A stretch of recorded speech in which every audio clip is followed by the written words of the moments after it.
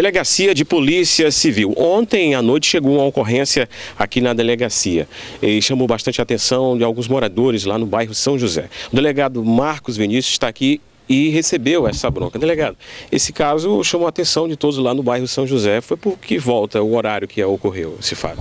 Bom, segundo a vítima, eles adentraram a residência por volta das 15 horas de ontem, renderam a, a pessoa que estava na casa trancaram num banheiro e fizeram um limpa, né? Subtraíram vários pertences que estavam na residência. Em seguida, fugiram do local. Esses pertences são, são aparelhos eletrodomésticos? Isso, foram notebook, um notebook, alguns aparelhos celulares e uns perfumes e umas, as carteiras dos proprietários da casa. Pelo que tudo indica, eles, esse, esses menores né, já estavam observando essa residência há um bom tempo, talvez, né? A gente está na investigação que houve um planejamento prévio para fazer a ação na, na casa que eles entraram, né? Não foi uma coisa de, de última hora, eles já vinham combinando anteriormente. Agora, para a justiça, delegado, não é caracterizado, é, como é que a gente chama? Um sequestro, um cárcere privado. Não, é, não é isso, não é bem assim, né?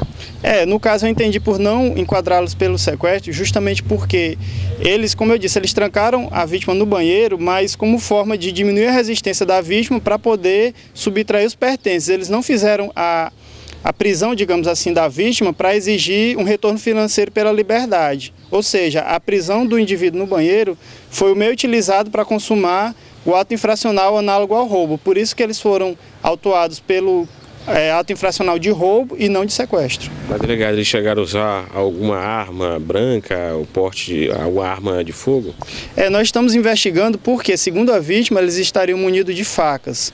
Os menores, em depoimento, confessaram o ato infracional, mas negam que estivessem armados. Fizeram apenas aquela velha gesticulação com a mão por baixo da camisa, sugerindo armas, mas até o momento não foi apreendido nenhuma arma com os menores. Na residência tinha quantas pessoas?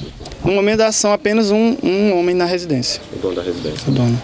Agora, aquele trabalho que a polícia faz, da, da militar, o trabalho foi feito, foi conduzido para a delegacia, como o delegado aqui menciona. São três menores, né, isso, delegado? É aquele trabalho de enxugar gelo. A polícia prendeu, mas infelizmente as leis brasileiras deixam brechas. Evidentemente, há pouco, daqui a alguns minutos, eles estarão soltos, né, expostos à sociedade, não é isso, doutor?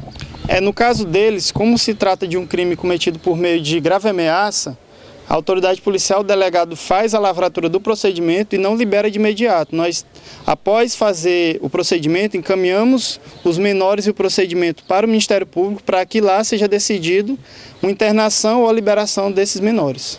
Então, ok, doutor Marcos, muito obrigado pela entrevista. O delegado Marcos está aqui hoje na delegacia, né, respondendo aí é, a, os flagrantes que são realizados, que foram conduzidos pela Polícia Militar ontem à noite aqui na Regional.